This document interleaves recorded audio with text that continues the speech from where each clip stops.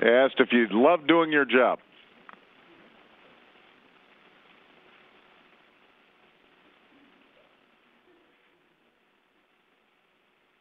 Yes, it's uh, it's wonderful to, to work in space. Uh, ever since I saw Apollo 11 uh, lunar landing when I was five years old, I always longed for uh, going to space and work. And uh, here, a dream came true. I uh, had to study hard and work hard, but I'm so uh, happy to be here, and I'm love loving uh, living here and working with so many uh, wonderful people here.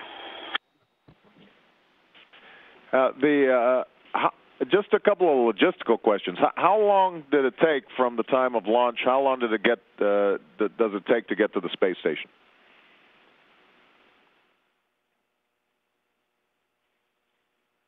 Uh, well, Mr. President, uh, let me answer that in two uh, two ways. First of all, it takes us about eight and a half minutes to get to orbit, and at that time we're we're going 17,500 miles an hour. But we're in a bit of a tail chase with the space station, and it's approximately about a day and a half to two days later that we actually rejoin with the space station.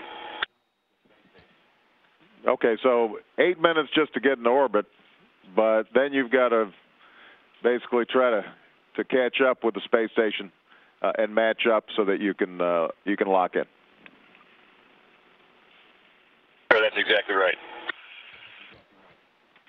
Okay. Anybody have any more questions? Hold on one second. What's your favorite or the most interesting experiment you're working on up at the space station? Okay. Do you guys have a favorite experiment right now? That's a really tough question because they're all interesting in different ways. Uh, Mike and I were doing a flame experiment where we were trying to, to help the scientists on the ground understand how fire behaves up here. There's all kinds of reasons for that. So that was interesting because it's sort of an unusual environment to intentionally put a fire. Um, I think one of the ones I like the most is an experiment that we're doing on ourselves to try and understand how our nutritional state changes and our biochemistry changes, and that'll help us design food and understand a little bit more about the processes that the human body undergoes. That's probably my favorite one. But there's all kinds of interesting things in all of the experiments. Now, can I ask you a question? Uh, the, were you tempted to uh, cut your hair shorter while you were up there, uh, or do you? Uh, is it fun and weightless? Well, that's a really good question because it is a little bit of an overhead to take care of long hair here. Um, I think you know, ideally, a, a short haircut's the way to go, but quite frankly, on me, it wouldn't be so nice, so I kept it long. I, I think it's a real fashion statement. Hold on one second. We've got uh, we got another young man back here. How much spare time do you have on the day in the day? How much how much spare time do you have? It, it sounds like you guys are, are are pretty busy. They do keep us pretty busy up here, and uh, we have a very tight schedule that starts from the moment you wake up until the moment you go to sleep. Uh, but they give us a little bit of time in the morning to uh, to get yourself ready, get yourself cleaned up, have some breakfast, and the same in the evening. So we can use that time to either call down to our family and friends, or maybe even check our email and see how things are going back on Earth. Now that, that's interesting. Does uh, does email uh, work pretty much the same between the space station uh, and uh, computers here on Earth?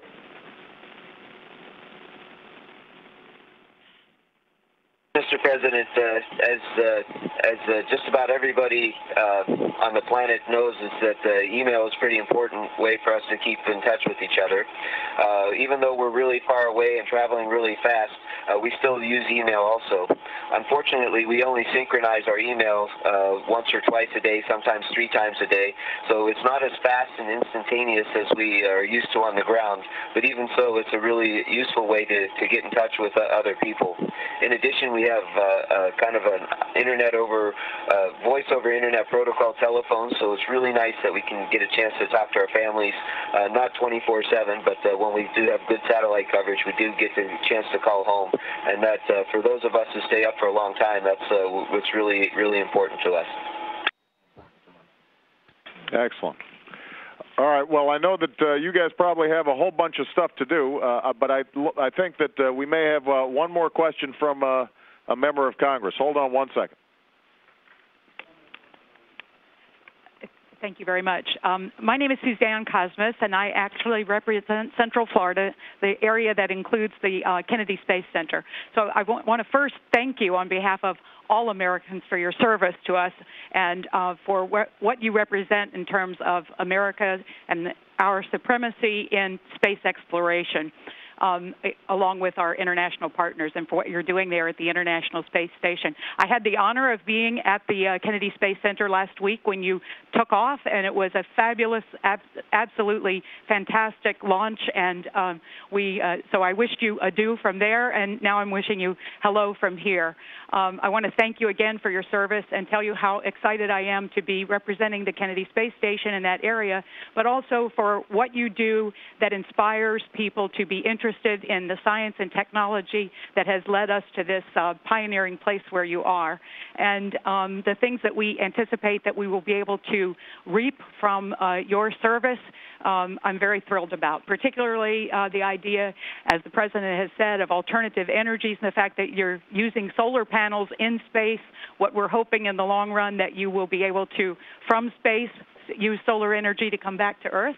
And um, again, I'm thrilled to be here and very excited to have the opportunity to, to talk to you. And um, thank you so much for your service to our country. Well, I think that uh, thank you, ma'am. We uh, we appreciate that, and uh, each one of us here is very lucky and honored to be right where we're at uh, here today. So the honor is all ours. We're honored to be here doing this this this great work.